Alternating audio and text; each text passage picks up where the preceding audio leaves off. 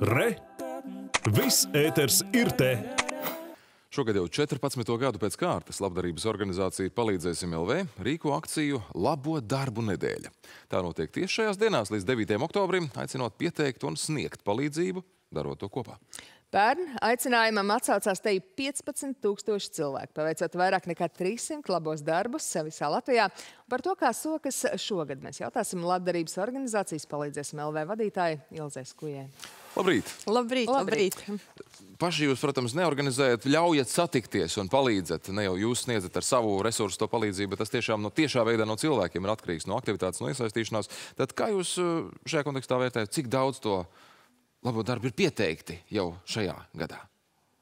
Uh, šodien tātad jā, ir trešā labo darbu nedēļas diena, un šorīt skatījos um, labo darbu nedēļas mājaslapā jau paveikti vairāk kā tūkstots labie darbi.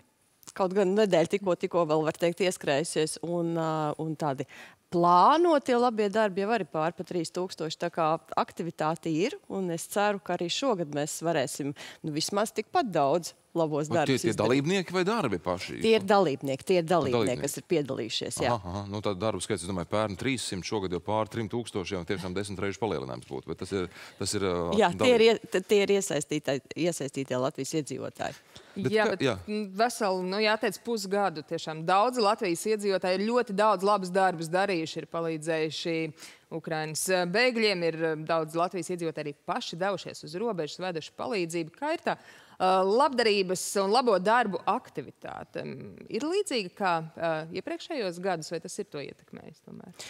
Manuprāt, ā, Latvijas sabiedrība ir aktīva, taču ir, ir brīži, kad mēs nedaudz pagurstam. Un arī šajā te Ukrainas kara kontekstā mēs esam nedaudz, protams, pavasarī mēs visi bijām koncentrējušies un ļoti palīdzējām un sniedzām atbalstu. Taču, kā mēs zinām, nekas nebeidzas un tik ātri arī droši vien vēl nebeigsies. Un Ukrainas kara bēgļi joprojām ir šeit Latvijā. Šķiet, ka aktivitāte ir nedaudz ā, pazeminājusies nu, rudens pusē. Tieši tādēļ arī, man- manuprāt, labo darbu nedēļa tāds brīnišķīgs instruments, kā vēlreiz atgādināt. Un atgādināt ne tikai to, ka mums ir jāpalīdz Ukraiņas kara bēgļiem, bet arī pašiem sev un paskatīties apkārt un palīdzēt vietējiem mūsu Latvijas gan senioriem, gan bērniem, gan dzīvniekiem, gan arī tāpat ir rudens un mēs varam sakopt apkārtni. Taču šogad mēs tādu īpašu akcentu arī vēršam uz to, ka šie te Ukrainas kara bēgļi, viņi ne tikai vēlas saņemt atbalstu, kas, protams, arī ir svarīgi, taču eh, mēs arī ikdienā saskaramies ar to, ka, piemēram, eh, nesen pie mums atnāca viena sieviete, Olga, kur asarām acīs pateicās par, par nu, nelielo tiešām eh, tādu palīdzības pa, paciņu, un viņa teica, ka viņa vēlas kaut ko darīt mums un atdarīt Latvij, Latvijai par šo te, ka mēs sniedzam viņiem atbalstu. Tādēļ mēs šogad aicinām, mēs taču ik viens zinām kādu Ukraiņu vai mums ir darba vietā, vai, vai draugos, vai kaimiņos, un uh, ņemt viņu aiz rokas un arī darīt labos darbus kopā. Mm, Tā teikt, ne tikai priekš viņiem, bet kopā ar viņiem. Jā, darīt, tieši tā, un tas bieži vien tas labais darbs, viņš gan vieno, gan uh, iedod tādu pozitīvu enerģiju un iedvesmu turpmākai dzīvē un darbiem arī ikvienam. Jūs pieminējāt seniorus, pieminējāt vidi, tās sakopšanu, pieminējāt maznodrošinātos un, un, un arī dzīvniekiem palīdzības sniedzamo.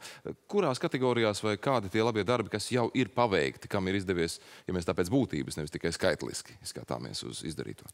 Un Patiesībā tas, tas darīto uh, darbu klāsts ir ļoti, ļoti plašs. un Tās idejas, ko cilvēki izdomā, uh, lai, lai šos labos darbus veiktu, ir apbrīnas vērti. Tieksim, uh, šobrīd tiek adītas zeķes Ukrainas uh, karavīriem, lai, lai nosūtītu. Tāpat arī tās dzīvnieku patversmes ir diezgan daudz apmeklētas. Un, un uh, jau pieminētie seniori, mazie bērni, piemēram, zinu, kā Ādažos vakardien. Uh, Ādažu um, Austrijas skoliņā vārīja ievārījumu, lai nogādātu senioriem. Kā, tas jau ir brīnišķīgi, ka šī ir kļuvusi kā tradīcija. Kā tāda tradīcija, ko, ko piemēram, kolektīvi, zinu, ka jūsu uh, kolēģi no Latvijas rādio pagājušajā gadā devās nodot asinis. Vai, piemēram, um, atceros, ka pāris gadus atpakaļ, tad, kad vēl bija raidījums 100 gramu kultūra, devās pie senioriem, māksliniekiem, sveicinot viņus un, un dāvinot kādus nelielus gardumus un apciemot. Galvenais ir tā kopā būšana, tas kontakts. Tā kā tie darbi ir ļoti, ļoti daudz un, un, un, uh, un dažādi. Jā, pajautāsim kolēģiem, varbūt mums šobrīd ir iespēja arī palūkoties uz labo darbu karti. Jā, Palūkosim. redzētu izkliedi Latvijā.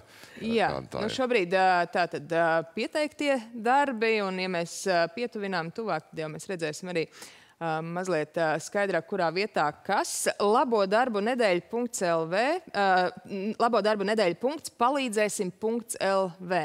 Ir adrese, kurā šo karti var atrast. Nu, tā tad atgādināšu, tur var gan pievienot, gan arī pieteikt. Jā, gan arī pieteikt. Un, uh, ir, ir arī mēs aicinām katru, kā katru gadu pieteikt šos palīdzības lūgumus. Jo iespējams, piemēram, mēs nesen saņēmām aizvakar palīdzības lūgumu no sievietes pļaviņās, kur ir otrās grupas invalīda, un viņai ir nepieciešamība sazāģēt malku palīdzēt.